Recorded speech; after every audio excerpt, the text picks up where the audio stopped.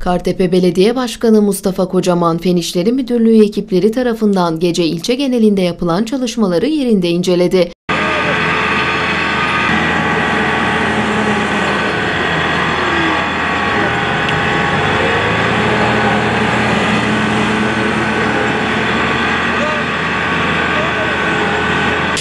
Başkan Kocaman yapılan çalışmalar hakkında yetkililerden bilgi aldı.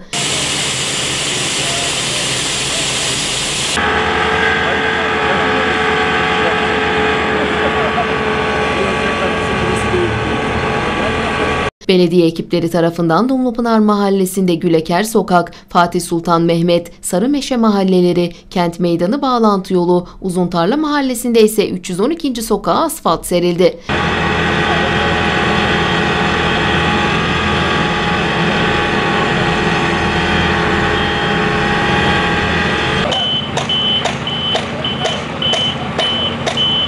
Kartepe'mize hizmet etmenin vakti saati yok diyen Kocaman, Kocaeli yatırımlarımız devam etmektedir sözlerine yer verdi.